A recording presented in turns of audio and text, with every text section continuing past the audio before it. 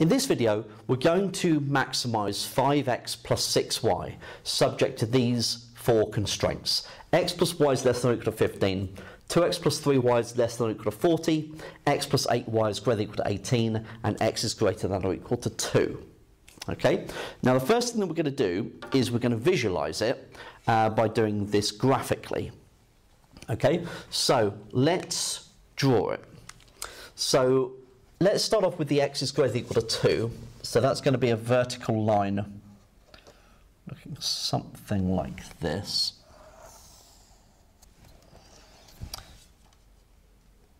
Okay, so I'm going to want the bit to the right of that. Uh, x plus y is less than or equal to 15, so it's going to go through 15 and 15.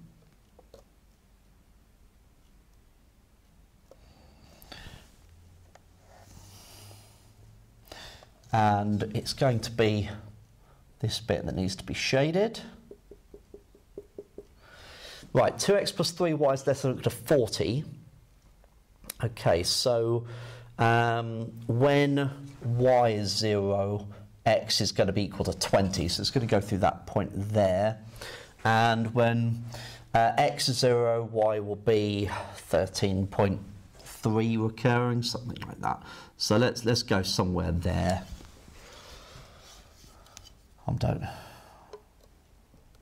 If I was on a uh, square grid, then I'd be able to be even more accurate, but let's just go with that. Okay, and I'm going to shade in that region there. Okay, and x plus 8y is greater than or equal to 18. So when y is 0, x is going to be equal to 18. So it's going to go through that point there. And when um, x is 0, y will be 18 over 8, so uh, 9 quarters. Um, it's about 2.25, something like that.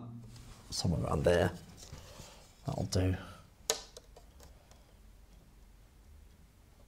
Where's my point? There we are. Okay. So something like that. And because I'm going greater than equal to, I will need to shade that region there. So this bit is my feasible region. Okay? Right. So, um, first of all, why doesn't the simplex algorithm isn't why won't the simplex algorithm just work? Well, the reason for that is because the simplex algorithm requires the origin to be within the feasible region, which it's not. So the, the simplex algorithm starts at 0, 0 and moves along uh, to the corners of your feasible region, checking each one as it goes until you reach its maximum. So that's no good. So um, that means we can't go directly into uh, the simplex algorithm, unfortunately. Now, the maximum point is going to be one of the corners you would expect, either that one, or there's that one there, or there's that one down there. Okay, so we need to determine a way of solving that. So how can we adapt the simplex algorithm to solve our problem? Okay, well, the first thing is that uh, we're going to start it off by saying, okay, well, I know that when I maximize 5x plus 6y, I put it equal to p, and then I rearrange that to get p take away 5x, take away 6y is equal to 0. Okay, so that's the first thing that I would do. The next thing is I know that with the less than or equal to's, uh, I'm going to have to add in a slack variable. So x plus y plus s1 is going to be equal to 15 and 2x plus 3y plus s2 is going to be equal to 40. So when I've got less than or equal to's, I'm going to introduce s1 and s2 in these cases as slack variables. So s1, s2 are slack variables and they're both greater than or equal to 0. Okay? Now, when you've got greater than or equal to, you want to make it into an equality, as we did with these ones. Um, so it stands to reason that we would then write down x plus 8y. Um, because this is greater than or equal to 18, I would need to subtract something. So I'm going to put take away S3 is equal to 18 where S3 is referred to not as a slack variable, but S3 is referred to as a surplus variable.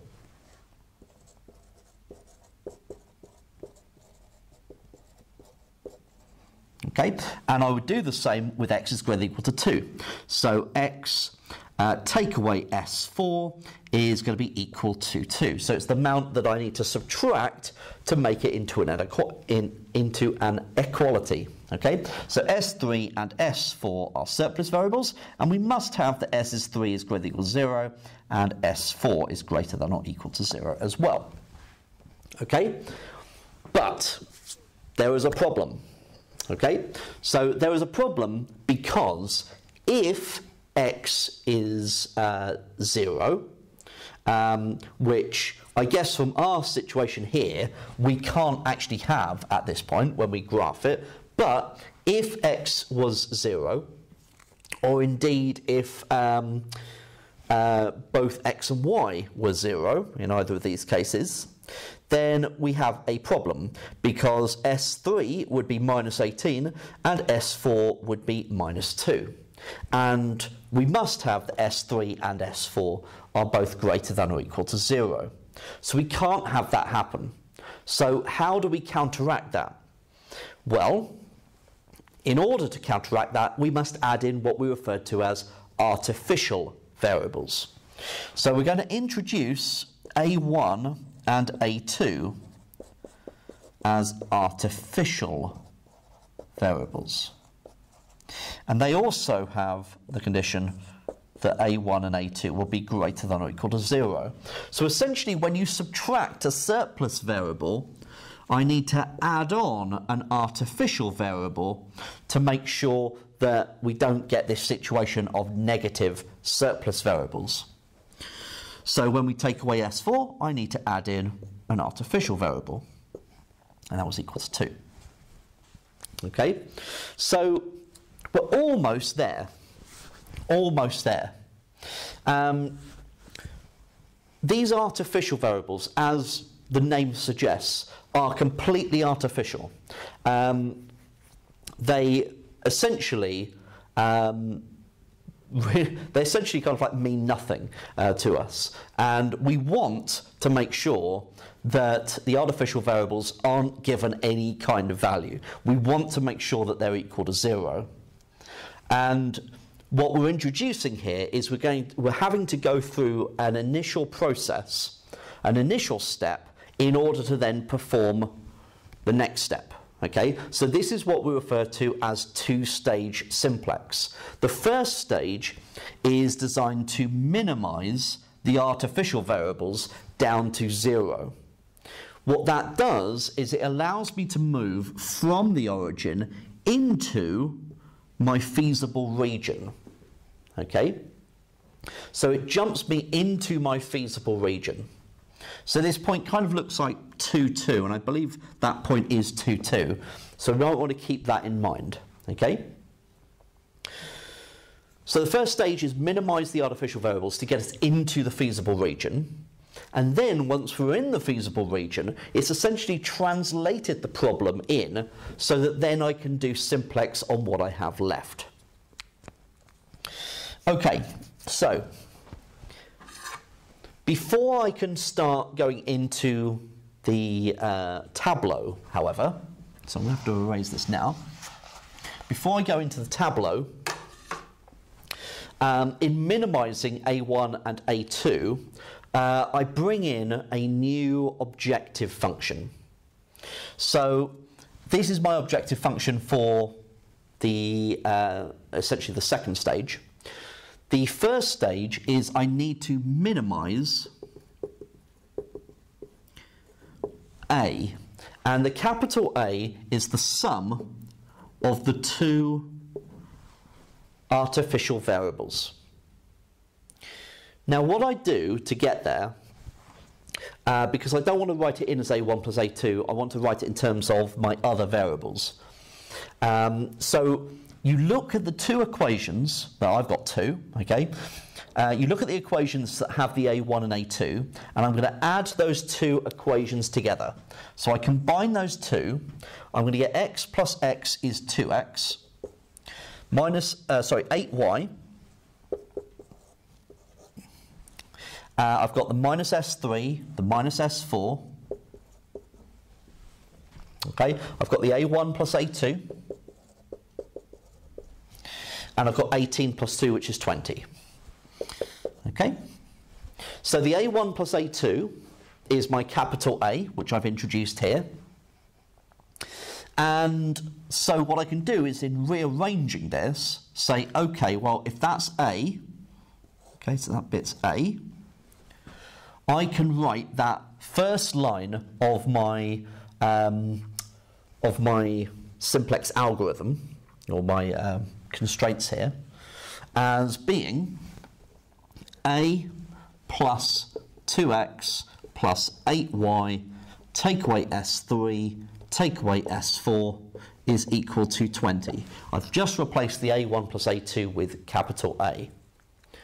And that is what I'm trying to minimize. Okay, so now we can go into the tableau. So we're going to have A at the top, right? We've also got P, then we've got X, then we've got Y. We've got S1, S2, S3, S4, A1, A2, and the right-hand side. So we've got far, well, quite a lot more variables uh, to deal with than we previously had to. Right, don't want to raise anything just yet in case I forget anything. So we've got A is 1, uh, P is 0. We've got 2, 8, uh, 0, 0, minus 1, minus 1, 0, 0, 20. Okay, so that is forming the top line. Okay, just need to make myself some space. Right, so let's start putting the other bits in. So 0, 1, minus 5, minus 6, uh, 0, 0, 0, 0, 0, 0, uh, 0. Then we've got this one. So 0, 0, 1, 1, 1, 0, 0, 0, 0, 0, 15. Then we've got 0, 0, 2, 3, uh, 0, 1, 0, 0, 0, 0, 40. Then we've got this one 0, 0, 1, 8, 0, 0, minus 1, 0, 1, 0, 18. And then I've got last one 0, 0, 1, 0, 0, 0, 0, minus 1, 0, 1, 2. And that is my initial tableau. Now, as you can see, it is quite large. So, um, what can you kind of expect from this type of question? Now, it may well be it just from this set up the initial tableau. And that could be the question. Okay? Now, we want to be able to see, however, what happens when we work this problem through. Okay? Now, the key bit, remember, is that this is the first stage. And in the first stage, we are not maximizing 5x plus 6y. We're not maximizing p equals that. We're minimizing a which is the A1 plus A2. Okay? So rather than uh, maximizing, which we are used to for all the examples that we've gone through for simplex, because we are now minimizing, rather than looking for the most negative in the top row, we must instead look for the most positive. Because that one we will be able to uh, essentially decrease the fastest. So that means we will choose 8 as my pivot column. Now, looking down here, what have we got? We've got um, 0 divided by minus 6, ignore that one. 15 divided by 1 is 15. 40 divided by 3, so 40 divided by 3 is 13.3 recurring. Uh, we've got 18 divided by 8. So 18 divided by 8 is 2.25. And then we've got 2 divided by 0, which we could ignore. So the 18 divided by 8, that is the one that we want to use. Okay, so when you are picking your pivot, you are still looking at the right hand side divided by each of those terms and picking out the smallest one. Okay, so the only change here was that when you look along your top row, you're looking for the most positive.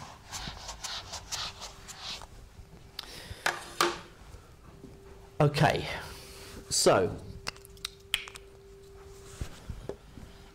now we're going to have equation 7, 8, 9, 10, 11, and 12. Okay, so um, equation 5 um, is going to become equation 11 down here. So I'm going to do equation 5 uh, divided by 8. So 0 divided by 8 is 0. 0 divided by 8, 1 divided by 8 is an eighth. Uh, 8 divided by 8 is 1. Then we get 0, 0, minus an eighth, 0, 1 eighth, 0, and then 18 divided by 8, and that's going to get us uh, 9 quarters. Okay, so then I want to use that to eliminate the y's from the other equations. So, um, from the top row, what I'm going to need to do. The easiest way uh, would actually be, you know, visually, is to do equation 1 take away equation 5. Okay, but we're meant to be using this one, so um, we're going to do equation 1 uh, take away 8 lots of equation 11. So 1 take away 8 lots of 0 is 1. 0 take away 8 lots of 0 is 0.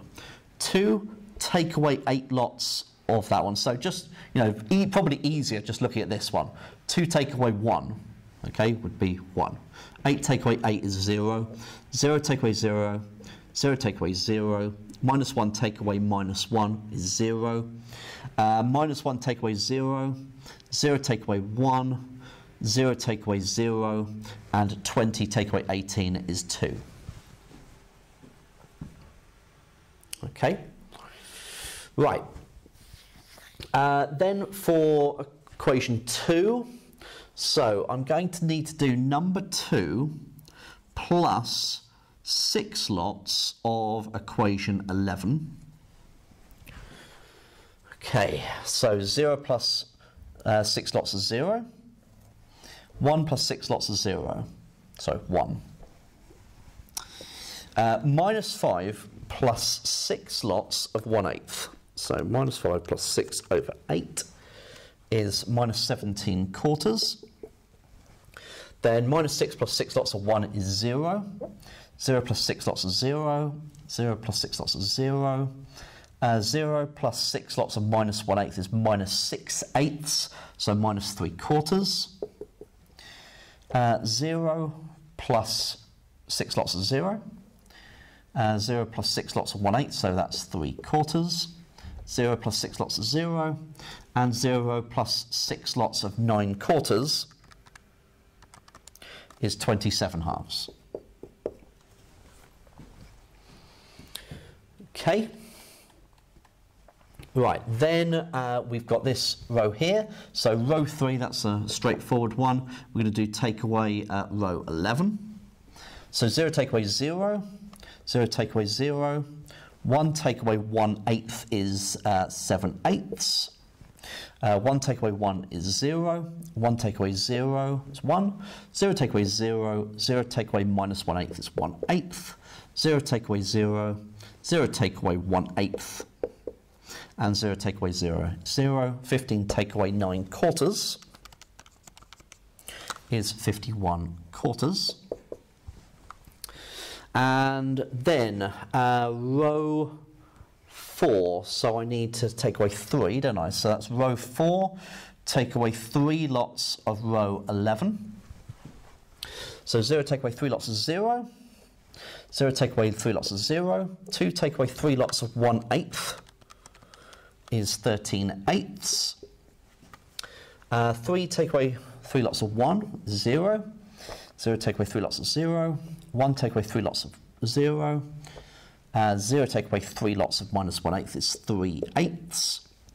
Uh, 0 take away 3 lots of 0. 0 take away 3 lots of 1 eighth. And 0 take away 3 lots of 0. And 40 take away 3 lots of 9 quarters is 133 quarters. Okay, and lastly, uh, we've already got 0 in that row, so that can stay as is. So 0, 0, 1, 0, 0, 0, 0, minus 1, 0, 1, 2. Okie dokie, right. Um, so, in minimizing that now, um, we've reduced A down from 20 to 2. Okay, um, so what I would now need to do is that's the first iteration of the first stage. Okay, so in going through that process, you can see, oh goodness me, um, that's, that's quite exhausting just going through that one iteration. Okay, so um, essentially what you should be saying is that you know they can't ask you uh, to do iteration after iteration after iteration of this because it just takes so much time. So um, what we really want to do is we want to reduce this down. Um, I'm going to go through one more iteration of this because, and I know that um, I know that I'm not done because I've still got a positive in the top row. Okay? Because now, rather than looking at negatives in the top row, I'm looking at positives in the top row. So I know I need to look at that one there. So I know that this is going to be my pivot column. Now I'm going to run out of space. So how am I going to do this? Um, probably best shout is I'm going to have to go back up here. Otherwise I am going to run out of space. So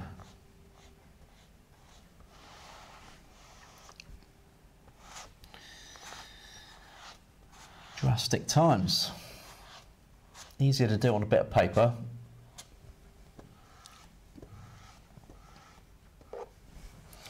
Okay, so we're going to have uh, 13, 14, 15, 16, 17 and 18. Okay, so um, this is going to be my pivot column. I now need to uh, calculate my pivot. So uh, we're going to have 27 halves divided by negative, so ignore that one.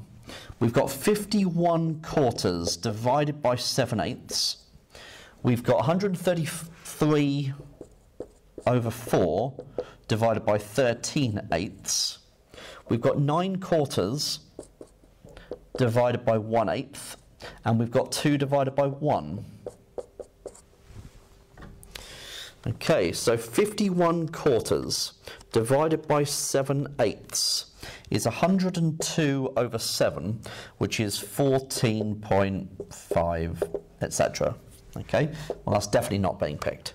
We've got the 133 over 4 divided by 13 over 8, which is 266 over uh, 13, which is 20.4 something something. Not interested in that one. And then we've got 9 quarters, and we're going to divide that by 1 eighth, which is 18. So we work with the smallest, which is this one. So that's nice, okay? That's nice and convenient. Okay. So that means that row 12 is going to become row 18. So this is nice and easy. 0, 0, 1, 0, 0, 0, 0, minus 1, 0, 1, 2. Okay, this is going to be a bit difficult now because I'm going working back upwards.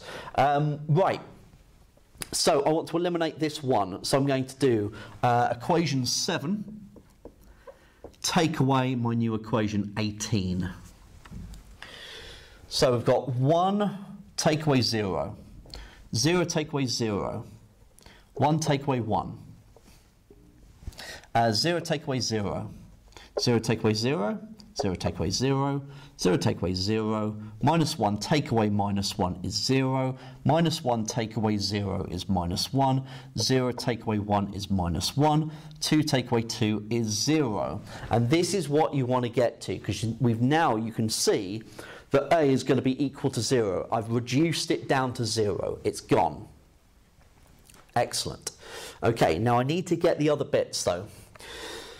So this one, uh, row 14, is going to, become row 8 plus 17 quarters of uh, row 18. Right, okay, so we've got 0 plus 17 quarters of 0. Um, 1 plus 17 quarters of 0. Minus 17 quarters plus 17 quarters of 1. 0. 0 plus 17 quarters of 0. 0 plus 17 quarters of 0. 0 plus 17 quarters of 0. Minus 3 quarters plus 17 quarters of 0. 0 plus 17 quarters of minus 1 is minus 17 quarters. 3 quarters plus 17 quarters of 0 is 3 quarters. 0 plus 17 quarters of 1 is 17 quarters.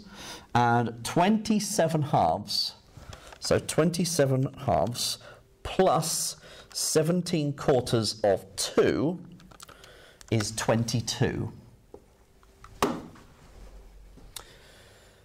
Okay. Right, so then um, we need row 15 uh, which for, is going to be row 9, and I've got 7 eighths. So take away 7 eighths of row 18. So, um, that, take away 7 eighths of that, 0. 0 take away 0. 7 eighths take away 7 eighths of 1 is 0. Uh, 0 take away 17 eighths is 0. 1 take away 7 eighths of 0 is 1. That'd be 0. 1 eighth take away 70, 7 eighths of 0 is 1 eighth. Uh, 0 take away 7 eighths of minus 1 is 7 eighths. Minus an eighth there. Uh, minus 7 eighths there. And then we've got 51 quarters take away 7 eighths times 2, which is 11. Right, row 16 is going to be row 10. Take away 13 eighths of row 18. Okay, so 0 take away 0. Just need to make sure I leave myself enough room. Uh, 0. Right, 13 eighths take away 13 eighths of 1 is 0. 0 take away 0, 0, 1, um, 3 eighths there. 0 take away 13 eighths of minus 1, so positive 13 eighths. Uh, minus 3 eighths take away 13 eighths of 0 is minus 3 eighths. Uh, 0 take away 13 eighths of 1. And 133 over 4, take away 13 eighths of 2 is 30. Okay, and now uh, we've got row 11, take away 1 eighth of row 18. Um, okay, so 0, 0, 1 eighth take away an eighth of 1. Uh, 1 there, 0, 0, minus 1 eighth take away an eighth of 0. That will be uh, plus an eighth. That'll be 1 eighth. Uh, that will be minus an eighth. And then 9 quarters. Uh, take away 1 eighth times 2 is going to be 2. Right. Okay. Now,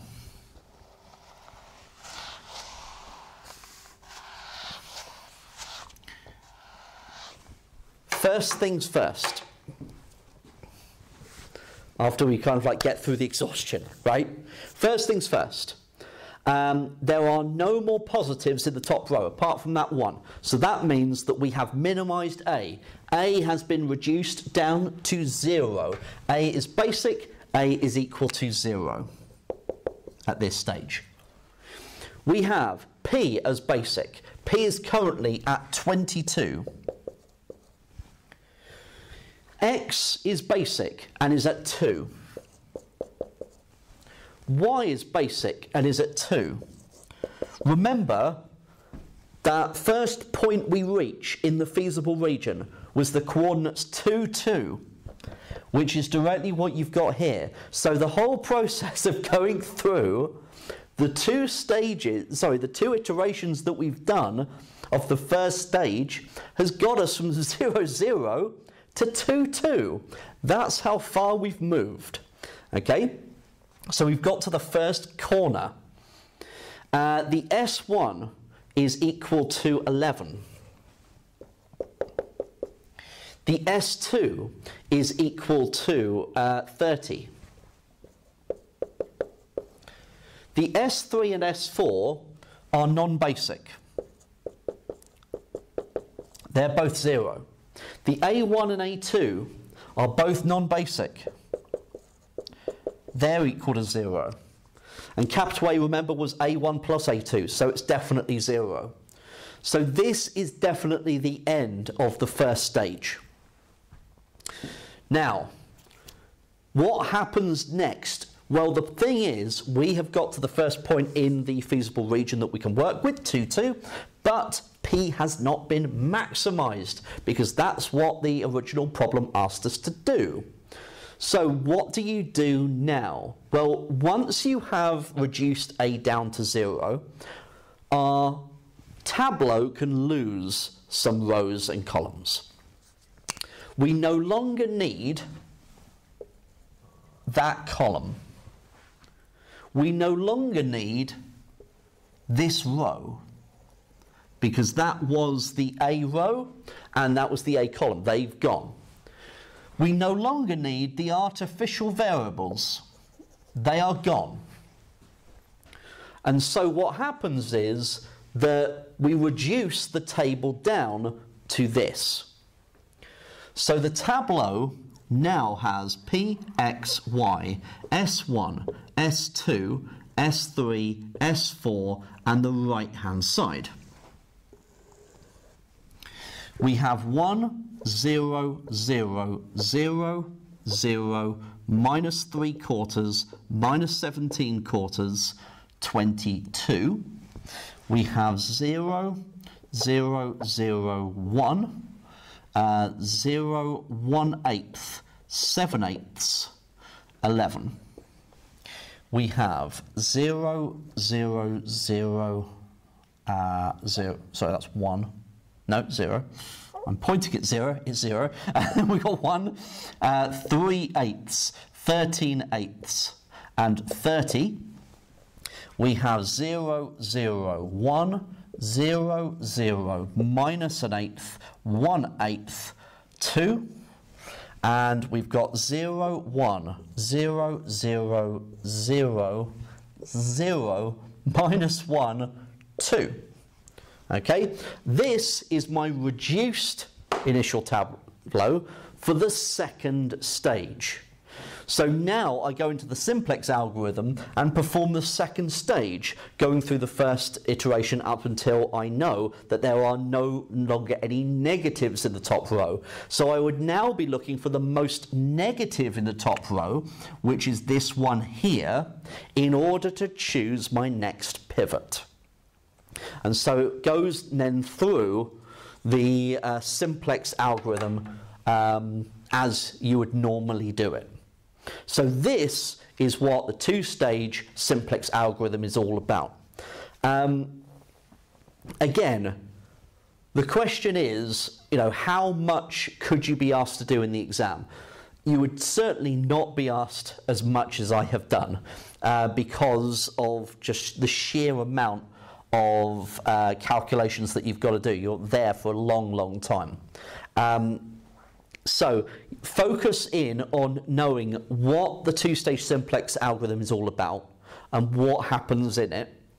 And also making sure that you can go from the constraints, the inequalities, to be able to set up the two-stage. Okay, so knowing what's going to happen and how do you get from the second, the first stage to the second stage, these are the important bits that you need to know how to do in case you're asked to do one particular part of it.